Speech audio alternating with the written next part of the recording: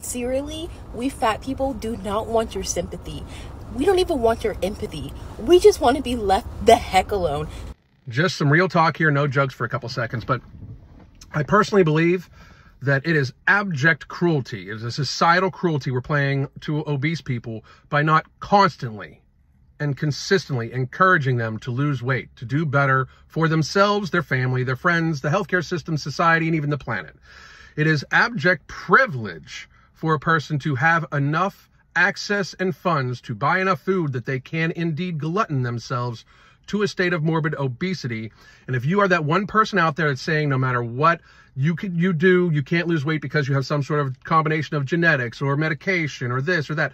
If you say you cannot lose weight, please admit yourself to the closest hospital for genetic testing so we can study you so we can help save the lives of hundreds of millions of children that actually starve to death around the world, who are actually oppressed, who have actual real problems, not the problems of people don't find you attractive because you're fat or you can't fit into an airplane seat.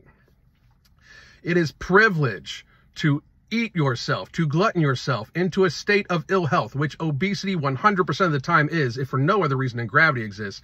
It's another level of privilege to then have society help take care of you once you've gotten sick from this lifestyle choice driven illness, as is seen in America and the UK and Canada and other places that have uh, shared uh, healthcare costs from insurance and taxpayer funded healthcare.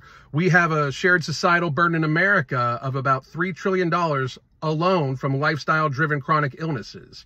People eating too much, drinking too much, and smoking too much. We all share in the cost of that. So if you are disproportionately using that compared to people that try to take care of their health, you owe it to society to unfatten yourself. Yet alone, the matter that we have to all then pretend that it is not this way. It is just absolute privilege. Being in America and being obese is privilege upon privilege upon privilege. But if you really want to be left alone, if you absolutely want to be left alone, it's on you. So don't use your insurance.